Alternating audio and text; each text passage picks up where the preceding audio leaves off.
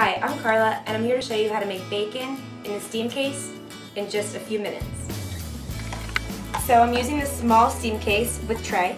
So all you're going to do is take your strips of bacon and place them in the steam case.